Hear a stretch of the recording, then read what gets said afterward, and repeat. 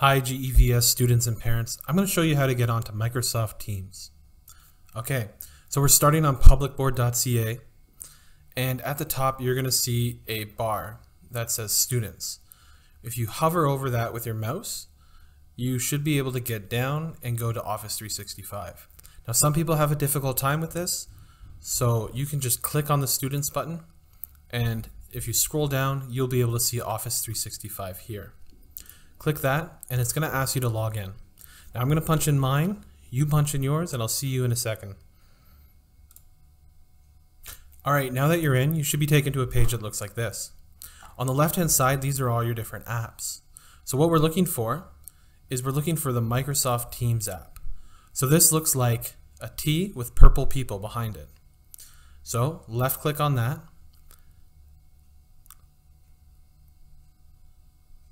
and you'll be taken to a page that looks like this.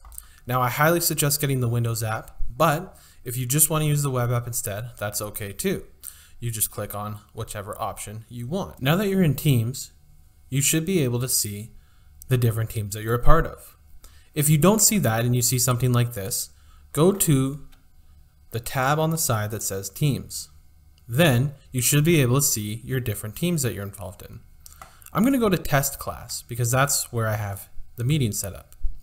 Once you're in here, you'll be able to see which channel the meeting is taking place on. So here, the general channel has a little camera, so I know that's where the meeting is.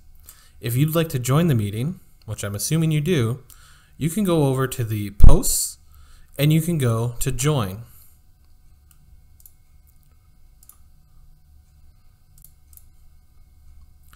It'll take you to a page that looks like this.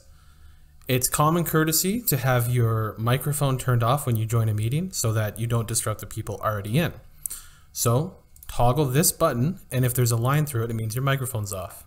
Then left click Join Now. And you're in. Let's say that you're early for class and your teacher hasn't started the meeting in the, in the feed yet. Well, you can go down to this ellipses and you can find your calendar. In your calendar, you will see the, the daily meeting that your teacher has set up. Here's mine in test, so I can click join. Then turn off my microphone and press join now.